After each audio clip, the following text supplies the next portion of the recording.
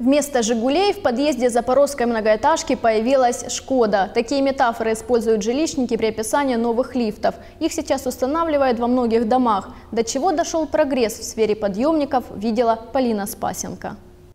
Старый лифт в доме 24 по улице Трегубенко установили еще в 80-м году. Сейчас ему было бы 33. Однако кризис среднего возраста подъемнику пережить не удалось. На его месте теперь красуется новый. Он, по словам жилищников, отличается от старого не только внешне. Мы видим внешнее обрамление, видим кабину, видим свет, видим табло. Все. То, что находится внутри, мы не видим.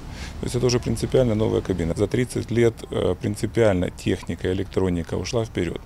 Поэтому этот лифт отличается принципиально от своих собратьев прошлого века.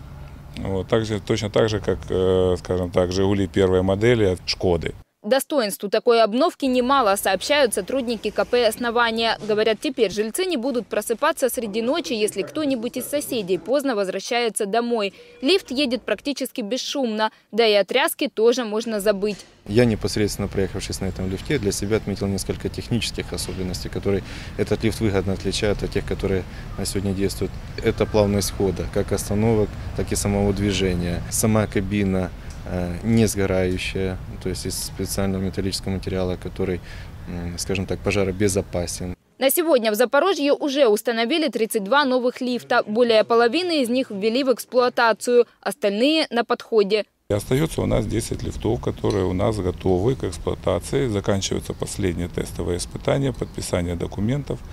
И в течение двух-трех недель максимум э, эти лифты будут работать. По официальным данным, в запорожских домах порядка трех тысяч лифтов и более 60% из них необходимо менять, говорят в мэрии. На это потребуются миллионы гривен, поэтому составляют так называемый список приоритетности, проводят экспертизу и на ремонт или замену самых проблемных подъемников выделяют средства в первую очередь.